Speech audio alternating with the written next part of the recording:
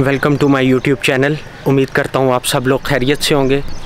इस वक्त मैं खेतों में मौजूद हूँ सब्ज़ियों के। और आज का जो हमारा व्लॉग होगा, जो खेत हैं सब्ज़ियों के, उनका होगा। और आप लोगों को भी दिखाएँगे कि यहाँ पर कौन कौन सी सब्ज़ियाँ लगी हुई हैं। और आज मौसम भी बहुत ही प्यारा बना हुआ है। क्लाउडी वेदर है। ये जी, इस जगह पे टमाटर बहुत ज़्यादा लगे हुए हैं। ये आप लोग देख सकते हैं। ये टमाटर का खेत है। जो कि हमारे रोज़मर्रा सालन वगैरह के अंदर इस्तेमाल होते हैं। ये अभी ग्रीन से हैं और ये नीचे तैयार हो गए हैं और ये बिल्कुल फ्रेश टमाटर है। ये आप लोग देख सकते हैं। ये तैयार हो गया तकरीबन। और ये यहाँ से आगे तक टमाटर का खेत है। ये सारा आप देख सकते हैं। यहाँ पर कितने ज़्यादा टमाटर लगे हैं। ये इधर तैयार हो गए मैं कुछ जो है।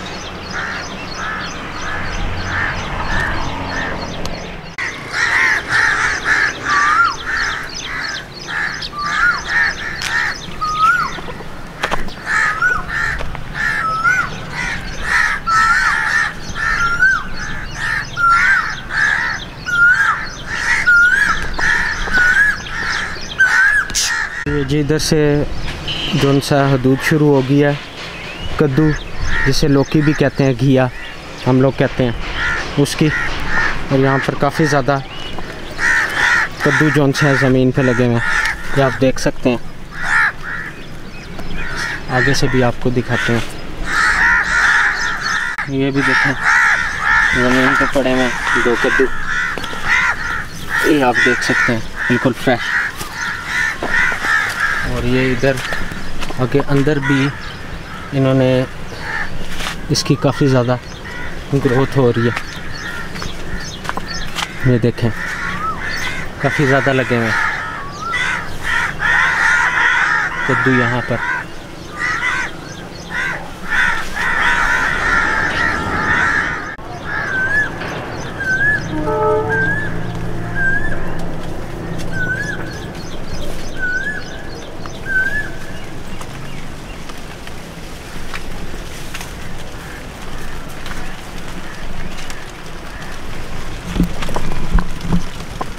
अभी इस वक्त मैं कद्दू के खेत में हूँ और ये आप लोग देख सकते हैं ऊपर छत। कितनी प्यारी इन्होंने बनाई हुई है। कद्दू लगे हुए हैं और अभी हम लोग यहाँ से निकलेंगे क्योंकि क्लाउडी वेदर है और बारिश भी स्टार्ट हो गई है, वरना बहुत ही ज़्यादा भीग जाएँगे बारिश में।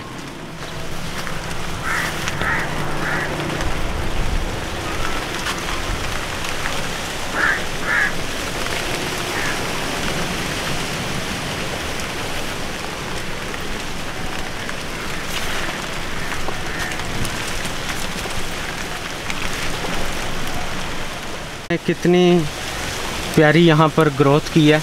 मुझे ये था कि ये ज़मीन पे लगे होंगे, लेकिन इन्होंने बेल सी बनाई हुई है और डंडों के साथ एक प्रॉपर उसका इंतज़ाम किया और एक ये बड़ा सा कद्दू यहाँ पर नीचे पड़ा हुआ और बाकी ये ऊपर बेल पे ही लगे हुए हैं और बहुत ही प्यारे लग रहे हैं। बिल्कुल ये फ्रेश हैं और इनका जो सालन होगा, वो भी बहुत ही कमाल का बनेगा, क्योंकि ये बिल्कुल फ्रेश सब्ज़ी हैं। इंतज़ाम बहुत ही प्यारा किया हुआ है। ये बड़ी प्यारी इन्होंने रस्सी टाइप ही बनाई हुई है और उसके साथ इसे बांधा हुआ है डंडों के साथ। ये आप देख सकते हैं। दो पड़ा हुआ ये दो तरह के होते हैं। ये लंबे वाला है और वो जो ऊपर बेलों में लगे हुए हैं, वो गोल लगे हुए हैं वहाँ पर। इधर भी पड़े हुए हैं जी। ये साइज़ में बहुत ही बड़े हैं। स्टार्ट हो गया है और ये सामने जो आपको दरख्त नज़र आ रहे हैं, इसकी बैक साइड पे कैनाल है और ये साथ ही इधर इन्होंने सब्जियों की ग्रोथ की हुई है। यहाँ पर भी देखें, कद्दू पड़े हुए आगे भी। ये जी सारा कद्दू का खेत है। ये आप लोग देख सकते हैं। इस हिस्से में कद्दू ही है लगा हुआ, जितना भी है। ये इधर भी साथ साथ इन्होंने टमाटर की जो ये बेल है लगाई हुई है, और ये टमाटर तकरीबन तैयार हो गया, बिल्कुल सुरख हुआ हुआ और छोटे छोटे बहुत ज़्यादा टमाटर लगे हुए हैं। बहुत ही छोटे हैं। ये आप देख सकते हैं। टमाटरों की जौन सी है, बेल है, वो लगी हुई है। और इधर भी कुछ टमाटर जो हैं वो बिल्कुल तैयार हो गए हैं।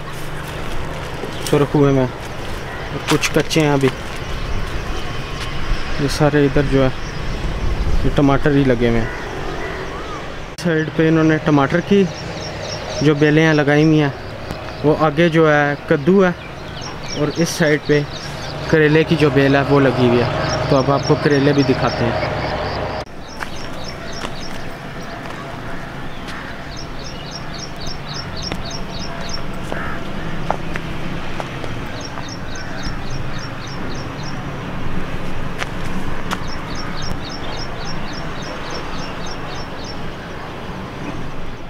ये जी, मैं करेले के जो खेत है उसके अंदर आ गया हूँ। और ये भी इन्होंने इसी तरह ही डंडे लगा के इसकी बेल को एडजस्ट किया हुआ और ये आप देख सकते हैं, यहाँ पर कितने ज़्यादा करेले लगे हुए हैं। और ये बहुत ही प्यारे लग रहे हैं। ये तकरीबन तैयार हो गए हुए हैं ये सारे करेले। और ये एंड तक है, करेलों की जो बेल है। वो आगे तक है। और ऊपर देखें कितने ज़्यादा लगे हुए हैं।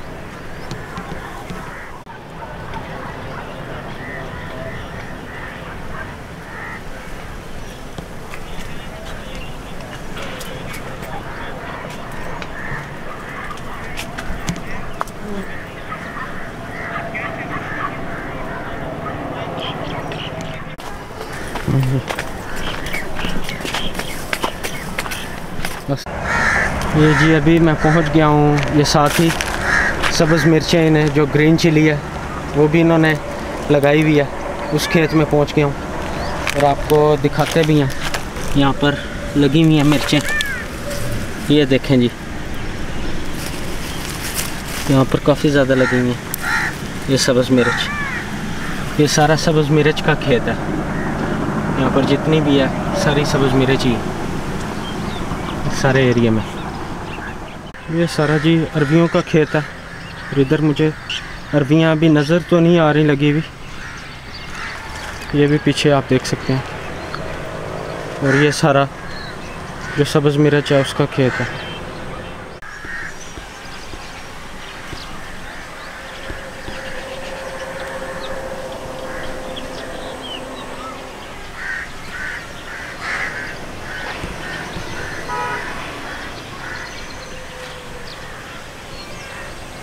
अभी भाई से मैंने पूछा है कि इनकी ग्रोथ किस मौसम में होती है। उन्होंने बताया कि अक्टूबर में इनकी ग्रोथ स्टार्ट हो जाती है, इन सारी सब्ज़ियों की।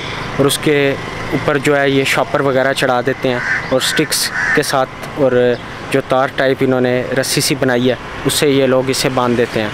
और वो ख़ुद व्लॉग में आना नहीं चाह रहे थे सो इस वजह से मैंने ख़ुद ही जो आप लोगों को ये सब बता दिया।